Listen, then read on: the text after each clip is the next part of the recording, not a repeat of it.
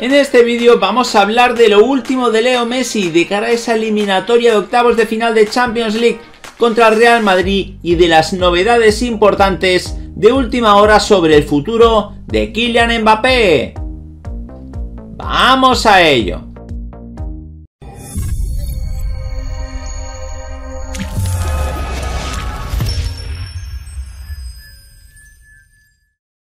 Hola de nuevo gente, ¿cómo estáis? Bienvenidos a un nuevo vídeo de Objetivo Gol. Vamos con la última hora de las grandes estrellas del Paris Saint Germain.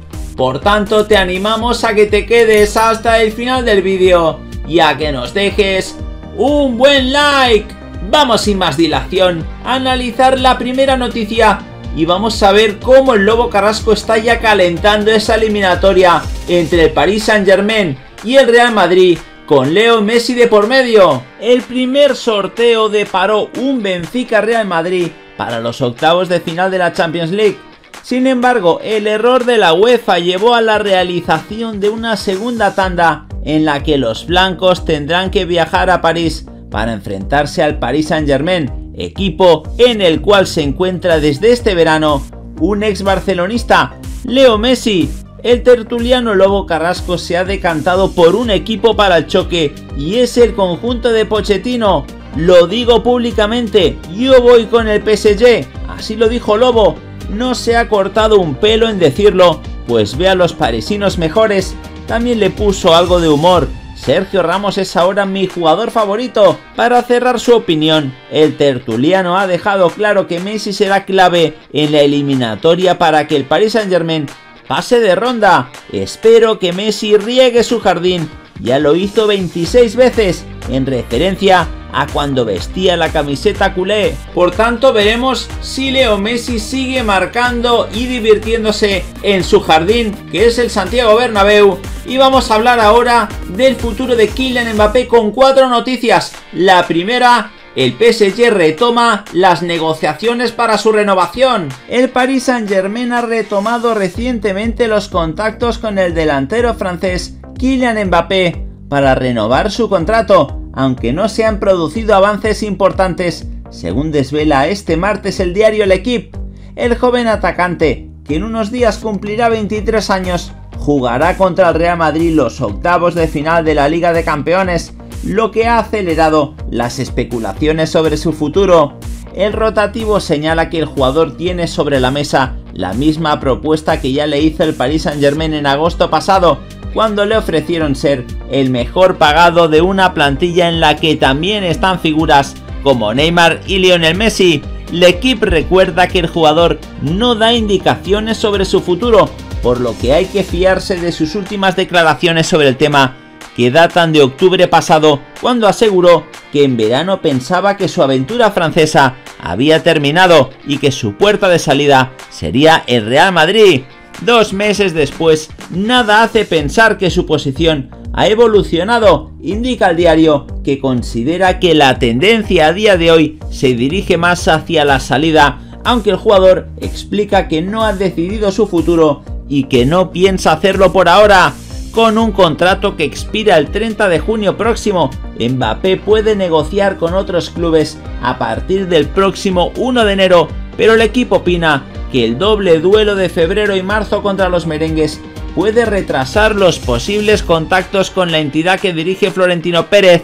El delantero prometió una lealtad absoluta al PSG hasta el final de su contrato y sus extraordinarias actuaciones de las últimas semanas así lo muestran. El diario considera que este enfrentamiento de la Liga de Campeones da a los propietarios cataríes del club francés un periodo suplementario para tratar de convencer al jugador de que siga bajo su disciplina. Y es que a la vez de todo esto, el diario El Equipo asegura que Mbappé no firmará finalmente con el Madrid hasta el próximo mes de marzo. El PSG, como decimos, se verá las caras ante el conjunto merengue en un duelo que estará marcado por ver a la estrella parisina pisar el Santiago Bernabéu antes de lo esperado. Un choque que estará lleno de reencuentros. Ramos, Messi, Neymar. Se tratará de la segunda vez que Mbappé pise el feudo madridista, ya que en 2018 lo hizo para disputar los octavos de final de la misma competición. Aún y así podría darse la posibilidad de que el 7 pise el terreno de juego con su futuro más que resuelto y siendo merengue. No obstante, esto no parece que vaya a ser el resultado final. Tal y como apuntó el equipo, el delantero del PSG no cerrará ningún acuerdo antes del mes de marzo, es decir, una vez se haya disputado la eliminatoria ante los blancos. Lo que sí que parece prácticamente seguro es que Mbappé no va a renovar su contrato y tiene los días contados en el Parque de los Príncipes. Sin embargo, tanto Leonardo como Alkelaifi tratarán de apurar sus opciones y convencerlo de que se quede cueste lo que cueste. El astro galo no ha dejado de soltar píldoras acerca de su futuro desde que el mercado de fichajes veraniego echó el cierre. A pesar de ello, el profesionalismo y el compromiso del de Bondi con su actual club ha sido encomiable. Y es que muchos piensan que Mbappé en esta próxima eliminatoria contra el Real Madrid va a tener más presión a sus espaldas. El exfutbolista Christophe Jallet concedió una entrevista a Le Parisien y no dudó en referirse al papel del futbolista. En este enfrentamiento será el centro de atención por encima del resto. Resurgirán las negociaciones del último verano Kylian tendrá una presión suplementaria a sus espaldas, pero no tengo ninguna duda sobre el hecho de cómo la gestiona ni de sus intenciones. Quiere ganar la Champions con el PSG. Mbappé es el jefe del PSG, lo que le ha hecho en estos momentos ser excepcional. Ha añadido un juego espectacular. Tendrá realmente muchas ganas de focalizarse en su aventura parisina y si tiene que salir a final de temporada, querrá llegar todavía más al final. Por último, Jalet se refirió al duelo que tendrá Kylian con Benzema, su compatriota. Eso sí, dará lugar entre ambos a un ajuste de cuentas amistoso. Mbappé y Benzema son las joyas del fútbol francés.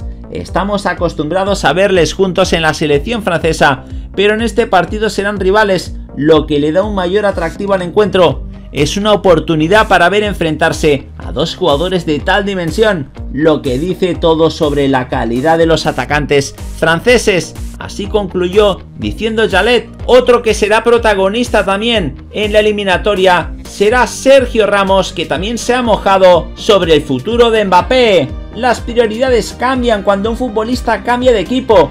Y sí, cuando Sergio Ramos era capitán del Real Madrid, tenía en mente que Mbappé vendría de perlas vistiendo la elástica merengue. Ahora cree que lo mejor es que se quede en el PSG como su compañero.